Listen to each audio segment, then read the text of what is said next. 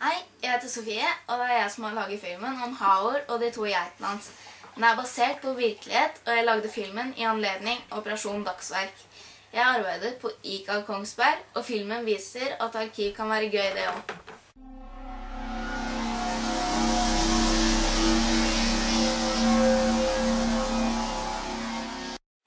The director of the famous YouTube hit The Murder of the Easter Bunny comes a film based on a true story from Notodden, Norway. It's a film about a boy in despair, his poor grandfather, the kindness of public authorities, and two hungry goats. The story of how it is coming now at the computer near you.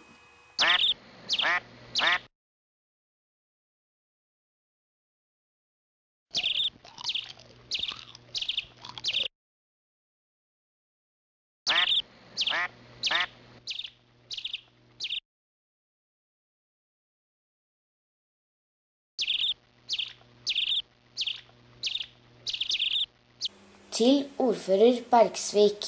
Jeg syns det er best å skrive til deg, da jeg tror det er du som har noe med deg. Jeg har to geiter som jeg er så glad i, men nå har jeg nesten ikke noe mat igjen til dem. Før har jeg fått noen skiller på skolen, men nå, siste gangen jeg kom ned og skulle hente en bøtte med skiller, så kunne jeg ikke få, for skillene skulle pleieheimen ha. Men kunne jeg få en bøtte annenhver dag, kunne det greie seg. Bestefar Halvor har kjøpt litt cellulose og sildemel, men det vil de ikke ha. Kålrabiskiller er de så glade i også. Er det Howard som spør? Jeg kom fra Amerika for fire år siden. Jeg reiste til Åmotsdal på ferie litt. Og der spurte jeg etter to geiter, og de fikk jeg i sommer.